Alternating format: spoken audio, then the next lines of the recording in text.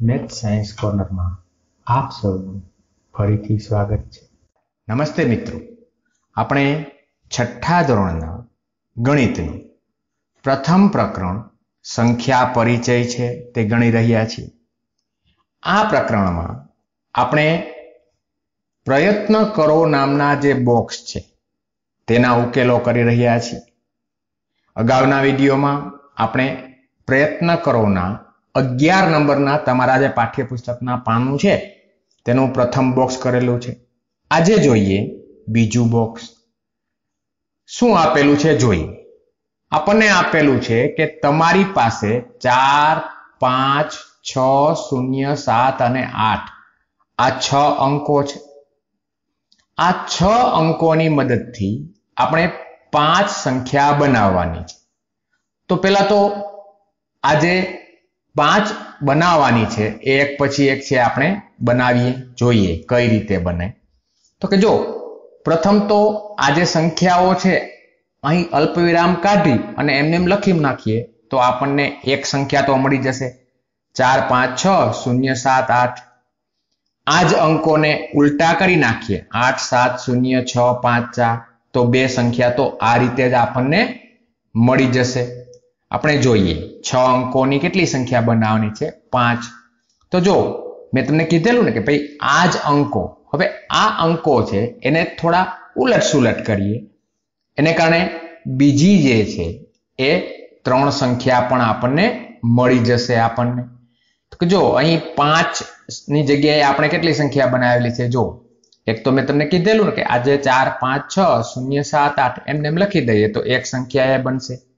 બીજી આ બનશે. બાકીની આ એક, બે, ત્રણ અને ચાર સંખ્યાઓ છે આપણે બનાવી. આપણને પાંચ કીધેલી હતી. આપણે કેટલી બનાવી નાખી? છ સંખ્યા છે, બની ગઈ છે. હવે આ જે સંખ્યા છે, એને સરળ વાંચન માટે આપણે અલ્પવિરામ મૂકવાનું છે.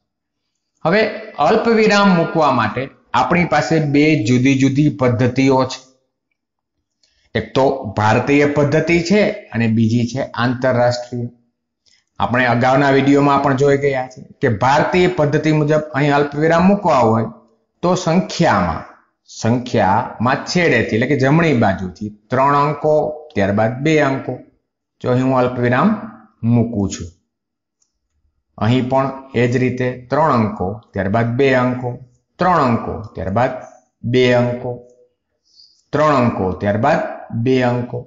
આ સંખ્યાઓને વાંચવી હોય તો જો હું એક સંખ્યા વાંચું છું, ચાર લાખ, આ જે છેલ્લી સંખ્યા છે ને એને હું વાંચું છું. ચાર લાખ છપ્પન હજાર અઠ્યોતેર. તમે પણ આ રીતે વાંચી શકશો. આ જે છે એને આપણે વ્યવસ્થિત છે એ લખી નાખીએ. તો કે પ્રથમ સંખ્યા આઠ લાખ સિત્તેર હજાર છસો ચોપન. બીજી સંખ્યા આઠ લાખ છોતેર હજાર પાંચસો ચાલીસ. એ રીતે આ તમામ સંખ્યાઓ. તમે લખતા જાઓ ને, એની સાથે સાથે છે એ સંખ્યાઓને વાંચવાની પણ છે. વાંચશો ને? ચાલો. હવે આ થઈ ભારતીય પદ્ધતિ મુજબ અલ્પવિરામ. હવે આપણને આંતરરાષ્ટ્રીય પદ્ધતિ એ ખ્યાલ છે. હવે આંતરરાષ્ટ્રીય પદ્ધતિમાં અલ્પવિરામ કઈ રીતે મૂકવાના છે? તો કે એમાં ત્રણ ત્રણની જોડી આવશે. એટલે અહીં એક જ અલ્પવિરામ આવશે. જો બંનેમાં ફરક છે, બંને રીતે હું તમને કહું છું, જ્યારે પણ પ્રશ્ન માટે જ્યારે પરીક્ષામાં પૂછાય, ત્યારે તમે કોઈ પણ એક રીતે છે અલ્પવિરામ મૂકીને બતાવી શકશો. આ જે છે, એને વ્યવસ્થિત રીતે છે, એ લખી નાખીએ આપણે. આ સંખ્યાને આંતરરાષ્ટ્રીય પદ્ધતિ મુજબ વાંચવી હોય તો કઈ રીતે વંચાય?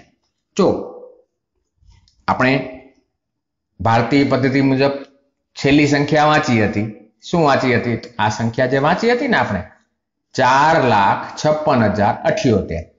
તો જો આંતરરાષ્ટ્રીય પદ્ધતિ મુજબ આને વાંચવી હોય, તો ચારસો છપ્પન હજાર અઠ્યોતેર. એ રીતે છે, વાંચી શકાય. જો બંને બંને રીતે છે, જ્યારે પણ સંખ્યા તમારી સામે દેખાય, ત્યારે તેને આ રીતે લખવાની અને વાંચવાની પ્રેક્ટિસ કરવાની છે. હવે ત્યારબાદ આ જે સંખ્યાઓ છે, એને ચડતા અને ઉતરતા ક્રમમાં આપણે ગોઠવવાની છે. હવે પ્રથમ જોઈએ ચડતો ક્રમ. ચડતા ક્રમમાં સૌથી નાની સંખ્યા પહેલા એટલે કે આ સંખ્યા કેવી આવશે? પહેલા આવશે. અને જે સૌથી મોટી સંખ્યા છે એ છેલ્લે આવશે. જો આ તમામમાં આઠ છે, તો હવે આ તમામમાં બીજી સંખ્યા કઈ આવશે? તો કે એના માટે બીજો અંક જોઈએ. તો અહીં સાત અહીં સાત. આ સંખ્યા, અહીં તો કે છ છે. આ બંનેમાં મોટી. તો કે જ્યારે પણ ડાબી બાજુથી પ્રથમ અંક સરખો હોય, ત્યારે બીજો અંક બીજો અંક સરખો હોય, ત્યારે ત્રીજો અંક. આપણે કેમાં ગોઠવવાની છે? ચડતા ક્રમમાં ગોઠવવાની છે. તો અહીં આપણે, જો ચડતો ક્રમ છે, મેં ગોઠવીને તમારી સામે રાખેલી છે. ચડતો ક્રમ એટલે નાનેથી મોટી સંખ્યા. સૌથી નાની સંખ્યા પહેલા આવે અને સૌથી મોટી સંખ્યા છેલ્લે આવે. જ્યારે પણ આ રીતે ચડતો કે ઉતરતો ક્રમ હોય, ત્યારે એક જ ક્રમ ગોઠવવાનો છે. જો અહીં આપણે આ જે સંખ્યાઓ છે કેમાં છે? તો કે ચડતા ક્રમમાં છે. હવે આ જ સંખ્યાઓને જો મારે ઉતરતા ક્રમમાં ગોઠવવી હોય, તો શું કરવાનું? તો કે અહીંથી શરૂઆત કરવાની. આ સંખ્યાઓ લેતી જવાની. એક, બે, ત્રણ, ચાર, પાંચ અને છ. એટલે કે ઉતરતા ક્રમમાં છે એ આસાનીથી આ રીતે ગોઠવાઈ જશે. હવે જો એ જ છે, જોઈ લો, બરાબર જોઈ લો એ, જેને કારણે તો કે કોઈ પણ એક જ ક્રમ છે આપણે કરવાનો. કાં તો ચડતો ક્રમ અથવા તો ઉતરતો ક્રમ. અહીં જે આપણે જે સંખ્યા બનાવી છે, આ સંખ્યા કરતા પણ અલગ. આવી બીજી સંખ્યાઓ પણ આપણે બનાવી શકીએ. આ થયો પ્રશ્ન પહેલો. હવે જોઈએ પ્રશ્ન બીજો. શું આપેલું છે? અંકો ચાર, પાંચ, છ, સાત, આઠ અને નવ. આ લેવાના છે. આઠ અંકોની સંખ્યા બનાવવાની છે. કોઈ પણ ત્રણ સંખ્યા. જો અહીં હું જે સંખ્યા બનાવું છું ને, તેના કરતા તમારી સંખ્યા અલગ હોઈ શકે છે. અહીં આપણને છ અંકો આપ્યા છે, એટલે કોઈ પણ એક અંક છે. અથવા તો બે અંક છે, તેનું પુનરાવર્તન કરી શકાશે. તો કે પહેલા તો આઠ અંકોની ત્રણ સંખ્યા જોઈએ. કઈ કઈ? તો કે જો અહીં તમારી સામે છે, મેં નવ અને આઠ છે, એનું પુનરાવર્તન કરેલું છે. એ જ રીતે બીજા કોઈ પણ અંકો. જો આ ત્રણ જ સંખ્યા છે, જરૂરી નથી કે આ ત્રણ જ આવે. આવી બીજી પણ સંખ્યાઓ આવશે. હવે અલ્પ વિરામ મૂકવાનું છે. અલ્પ વિરામ તો કે ભારતીય પદ્ધતિ મુજબ. તો કે આ રીતે છે એ મુકાશે. જ્યારે આંતરરાષ્ટ્રીય મુજબ, એ આપણે થોડી વાર પછી હમણાં જોઈએ આપણે. તો કે જો આ જે છે, એને ભારતીય પદ્ધતિ મુજબ અલ્પવિરામ મૂકીએ અને વાંચીએ, તો શું થશે? તો કે નવ કરોડ અઠ્ઠાણું લાખ સત્યાસી હજાર છસો ચોપન. બીજી સંખ્યા, નવ કરોડ સત્યાસી હજાર નવ નવ કરોડ સત્યાસી લાખ છોતેર હજાર છસો ચોપન. અને ત્રીજી સંખ્યા, નવ કરોડ સત્યાસી લાખ એ રીતે સંખ્યા આપણને મળશે. હવે આંતરરાષ્ટ્રીય પદ્ધતિ મુજબ છે એ એ ગોઠવીએ. આપણે ભારતીય પદ્ધતિ મુજબ જોયા. હવે આંતરરાષ્ટ્રીય પદ્ધતિ મુજબ પણ અલ્પવિરામ મૂકવા પડે ને, તો એ પણ આપણે મૂકીએ. તો એના માટે આપણને ખ્યાલ છે કે ત્રણ ત્રણની જોડી કરવાની છે. ત્રણ ત્રણની જોડી. આ છે. અહીં નીચે લખી દઈએ આપણે એને. હવે આ જે સંખ્યા છે, એને વાંચવી હોય તો કઈ રીતે વાંચાશે? તો કે નવ્વાણું મિલિયન, આઠસો સત્યાસી હજાર, છસો ચોપન. એ રીતે બાકીની સંખ્યાઓ તમે વાંચી શકશો. આ થયો બીજો પ્રશ્ન. હવે જોઈએ ત્રીજો પ્રશ્ન. શું આપેલું છે ત્રીજા પ્રશ્નમાં? ત્રણ, શૂન્ય અને ચાર. આ ત્રણ અંકોનો ઉપયોગ કરી છ અંકની પાંચ સંખ્યા બનાવવાની. એટલે કે એક રીતે એવી થાય કે આ તમે તમે ત્રણે ત્રણ અંકો છે, એનો બબે વાર ઉપયોગ કરીએ અથવા તો કોઈ પણ એક અંકનો એકથી વધારે વાર ઉપયોગ કરીને પણ સંખ્યા બની શકે.